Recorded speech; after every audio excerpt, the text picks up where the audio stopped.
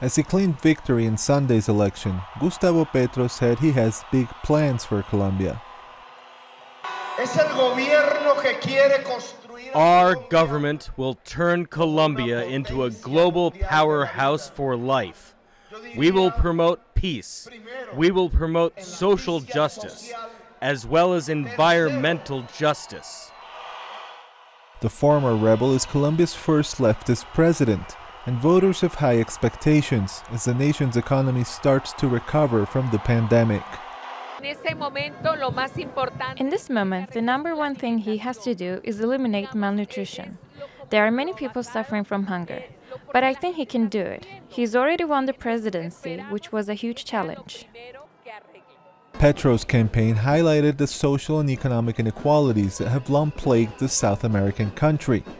The new president says he wants to raise corporate taxes and boost spending on social programs, while also changing how Colombia fights drug trafficking groups. On Sunday, Petro also said he wanted to modernize the nation's economy by making it less dependent on oil exports.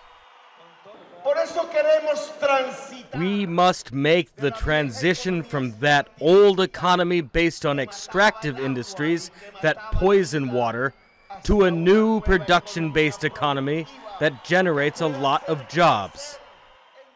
The senator defeated Rodolfo Hernandez, a real estate magnate who financed his own campaign and ran on an anti corruption platform. Hernandez quickly acknowledged defeat. I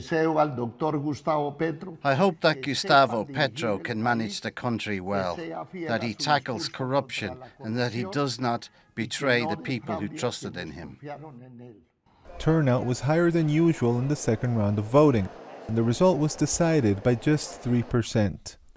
This election has been marked by frustration with Colombia's traditional parties, which were unable to get any of their candidates into the final round.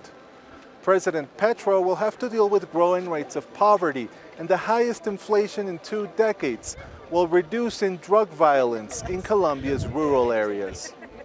Manuel Rueda, TRT World, Bogota.